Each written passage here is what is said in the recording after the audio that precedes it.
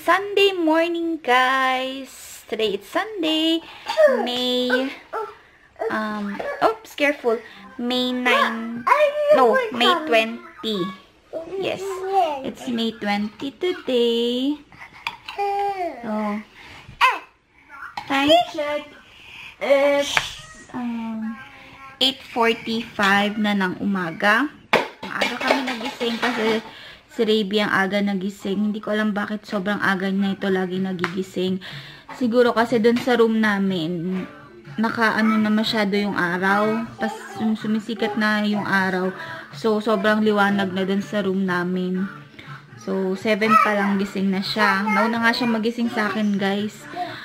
Nagising lang ako nung kumakanta siya. Nag-ABC yata siya nun. Tapos, yun nakapagluto ako ng breakfast, pero yung ano lang, nagisa lang ako ng sardines, tapos pritong egg. Nag-scramble egg ako. Yun lang, kasi hindi naman kakain si Iver kasi meron siyang basketball mamaya. So, kami lang ni Kuya ang magbe-breakfast. Si Ravi, tapos na mag-breakfast, nag-ano na siya, nag, ano tawag Tofu. Yun.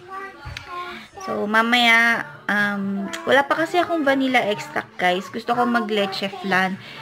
Itatry ko kung makakabili ako ng leche flan. Then, itatry kong i-vlog yung leche flan pag meron na akong um, kompleto na ingredients ko. Yung vanilla extract na lang, wala ako eh. So, yun. See you later ulit, guys. Kakain muna ako kasi uh, gutom na ako. Bye muna! So, ito na guys, kakain ako ng breakfast, sardines, and yung scrambled na egg. Kain muna ako. Kasi mamaya, magtatry akong gumawa na ng leche flan kasi may nakita akong vanilla extract sa taas. So, gagawa ako. Mamaya na lang ulit. Kain muna tayo. Kain. Okay, so I have all the ingredients na guys for the leche flan. Meron akong um, eto 6 na egg yolks. Tapos etong condensed milk, evap. Then yung vanilla extract. Tapos yung etong dalawa lang gagawin ko guys kasi itatry ko pa lang naman siya baka kasi hindi masarap. So, dalawa lang muna gagawin natin. Tapos, brown sugar. Oh, sorry. Um, not brown sugar, white sugar. Tapos, yun. So, gagawa na tayo.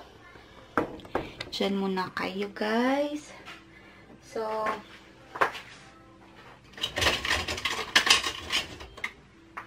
first, etong egg yolks. Yan. Lagay natin dito.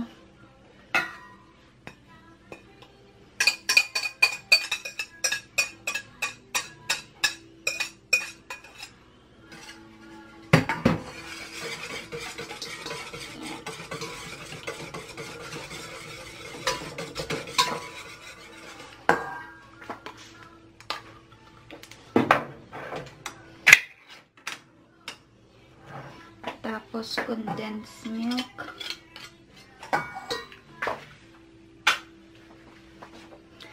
Lalagay na natin lahat yung isang can ng condensed.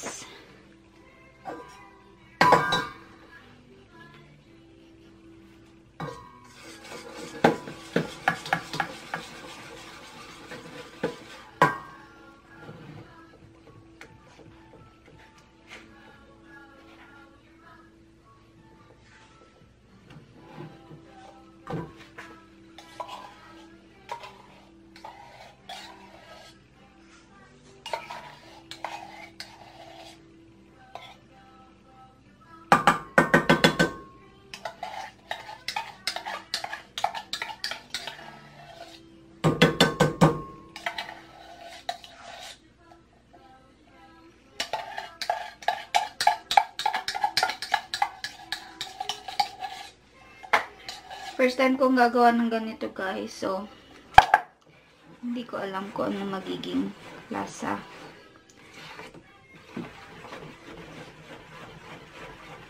So, mix-mix lang.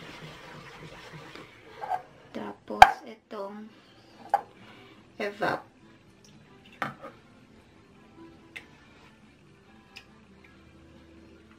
Tansya-tansya lang.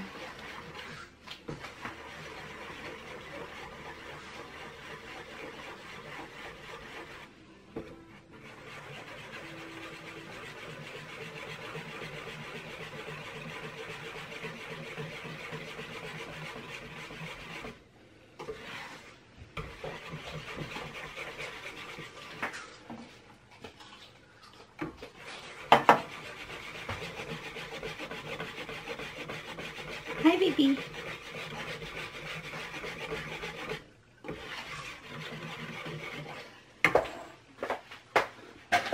Okay, so put away na ang ating mga kalat. Ito na yung mixture ng leche flan. Yan.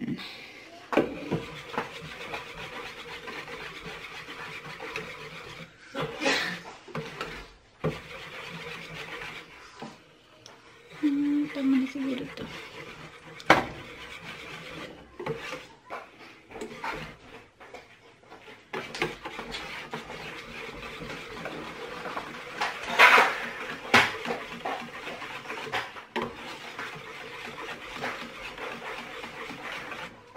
Mix-mix lang. Tapos, lagyan natin ng 1 tablespoon ng itong vanilla extract. This one is the vanilla extract. Yan.